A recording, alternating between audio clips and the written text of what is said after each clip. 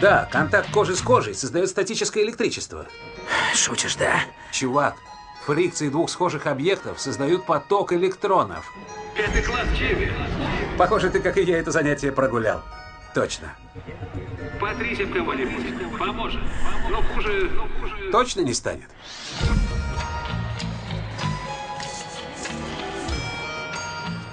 Правда, отличная скачка.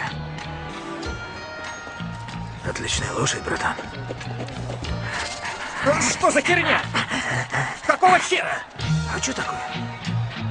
Это не я, это все ты.